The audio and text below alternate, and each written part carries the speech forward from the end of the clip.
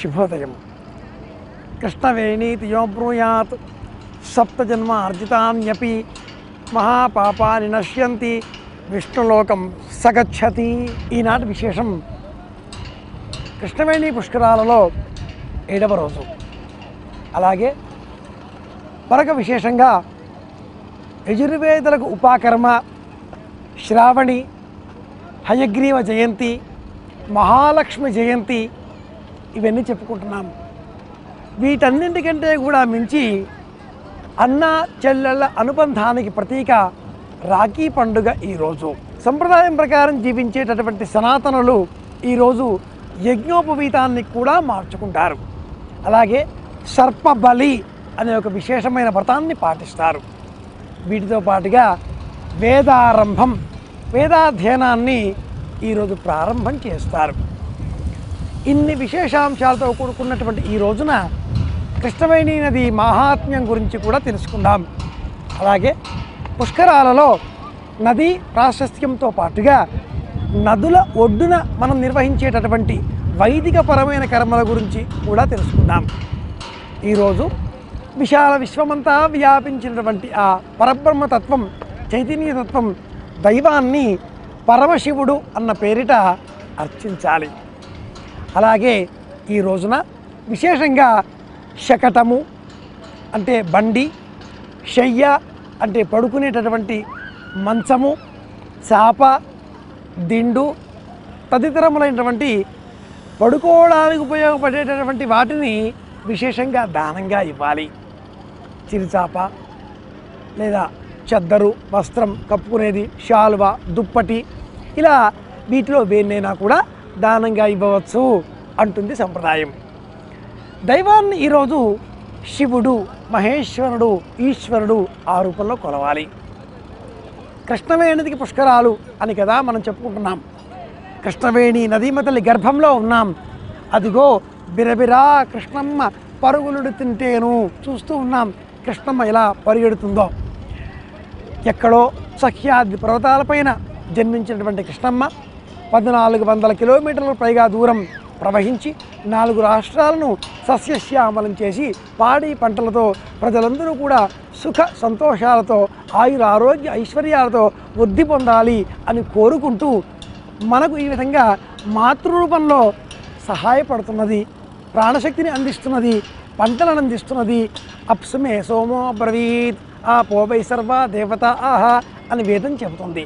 ఆ ప్రకారంగా ఈ రోజున నదీమ తల్లి ఒడ్డున సనాతన ధర్మం వైదిక ధర్మం తెలిసిన వారు ప్రాజాపత్యాది నవ ఋషులను అర్చిస్తారు.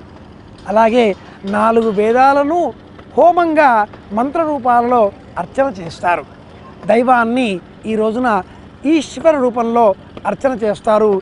యజ్ఞోపవీతాలని మార్చుకుంటారు. ఎవరికి వారికి యజ్ఞోపవీతం వారి నాలుగు వేళ్ళ ప్రమాణానికి తొంభై ఆరు సార్లు దారం ఇలా చుడితే వచ్చేటంత పొడుగైన దారం అది యజ్ఞోపవీతం. ఆ తొంభై ఆరు బెత్తల దారాన్ని ఇలా చుట్టి దాన్ని మూడు వరసలు చేసి ఆ మూడు వరసల దారాన్ని మళ్ళీ మూడు వరసలు చేసి మనలో ఉండేటటువంటి సత్వ రజ స్తమో గుణాలకు ప్రతీకాత్మకంగా బ్రహ్మ విష్ణు ఈశ్వర ధర్మాలకు ప్రతీకలుగా ఇలా చేస్తారు. ఈ కృష్ణవేణమ్మ కూడా బ్రహ్మ విష్ణువు మహేశ్వరులు అలబడే ముగ్గురికి ప్రతీకాత్మకంగా చెప్పుకోవాలి. ఈశ్వరుడు ఇక్కడ వేణి రూపంలో ప్రవహిస్తున్నాడు. శ్రీమన్నారాయణమూర్తి కృష్ణ రూపంలో అంతర్గర్భితంగా ఉన్నాడు. బ్రహ్మదేవుడు కకుద్మతి అనే నదీమ తల్లి రూపంలో ఇందులో లీనమై ఉన్నాడు. ఇరవై తొమ్మిది నెలలలో ఈ మూడు నదులు బ్రహ్మ విష్ణు మహేశ్వర స్వరూపాలుగా మిళితమై నలుపు వర్ణంలో కృష్ణవేణి నది నల్లగా ఉంటుంది.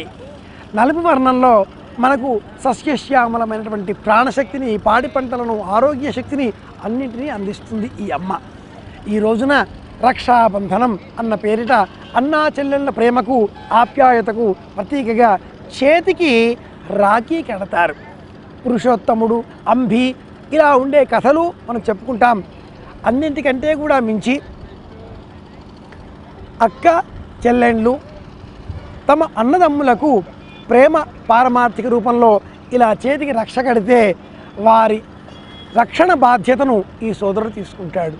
అలాగే కృష్ణవేణమ్మను మనం అర్చిస్తే ఈ కృష్ణవేణమ్మ మన రక్షణ బాధ్యతను స్వీకరిస్తుంది.